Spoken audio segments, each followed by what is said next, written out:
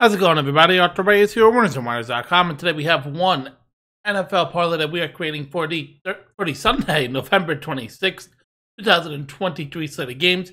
But before we get into that, I want to talk to you guys quickly about a promotion that we are running over at WinnersandWhiners.com, where you guys can save 65% off on all my packages until further notice if you use the promo code KJR. 5TH65. That is all one word, no spaces. Make sure to go check out my profile as well as some of our other top performers as an addition to this video that you guys are getting for free on youtube.com. You guys are going to get access to my written picks as well as what I'm betting on throughout the day, so you guys can always stay in the loop. In addition, check out the link in the description below.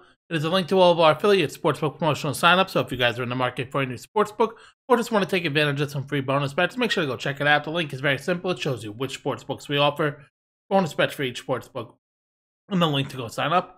You guys get those bonus bets. We get an affiliate bonus, so everybody wins at the end of the day. So the first game we're going to be discussing is the Kansas City Chiefs taking on the Las Vegas Raiders. Chiefs are seven and three. The Raiders are five and six. Uh, the Raiders have been playing better since firing Jon Gruden or uh, Josh McDaniels. I don't know why Gruden was on the mind there, but since firing him, uh, Maxx Crosby is trying to play despite being doubtful. He would be the first person who has been listed as doubtful to play in the game this season.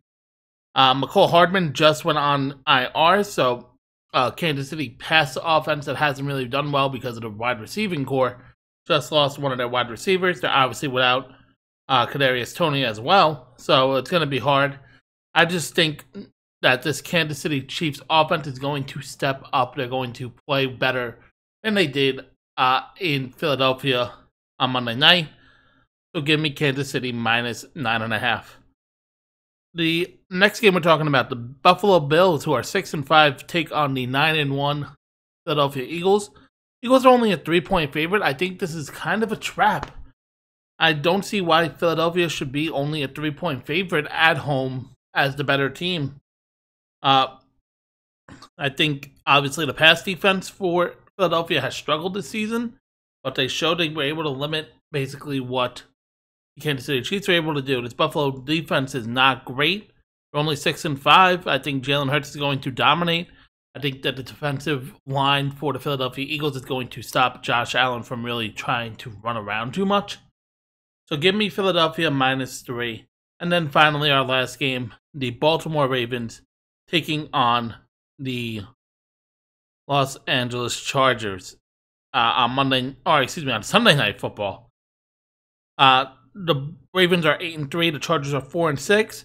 Uh, I just again don't see why the Chargers should be uh, in this game. They're three point home underdogs, so the Ravens are three point favorites at on the road across the country in this game. It makes sense.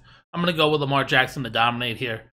I don't see the Chargers defense playing well. They have not played well lately or throughout the season, basically. And with Joey Bosa on IR, I don't see them getting two getting stops. So all in all, we're gonna go with Baltimore minus three, Kansas City minus nine and a half, and Eagles minus three as our parlay for today. So after you guys do, make sure to leave a like, comment, subscribe, and I will see you guys in the next one.